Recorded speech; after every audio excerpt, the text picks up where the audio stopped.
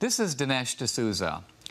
Not only has the retail giant Costco reversed its decision to lift copies of my book America off its shelves, but it has also called my publisher and ordered 25,000 new books. Costco now promises the book will be in every Costco around the country, prominently displayed.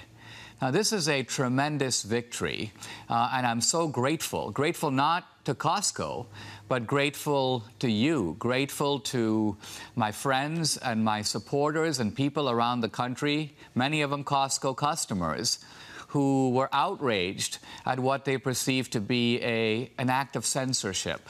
People can decide whether they want the book or not, but Costco should make it available to them. And so what you did is you stormed Costco. You stormed their website. Some of you went to Costco and made your voice heard and let them know that if they don't change their minds, uh, you would change your mind about Costco.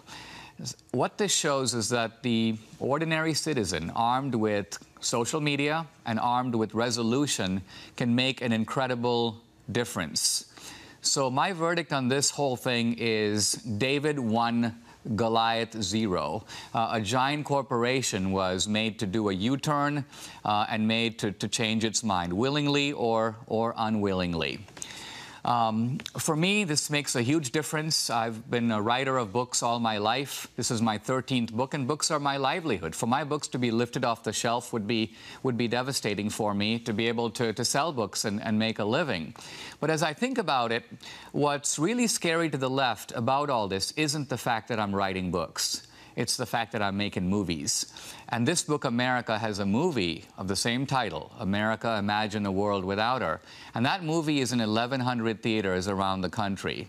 It made $5 million last week already putting it in the top 10 political documentaries of all time. With our momentum now, we will surpass a number of Michael Moore's movies very soon. Um, this is the way to really register political protest if you want to stick it to the left, if you want to send a message, I would urge you to round up a bunch of your friends, use your social media, take people to the film, and do it early. That way, the people in Hollywood notice, uh, they get the message, the film expands to even more theaters.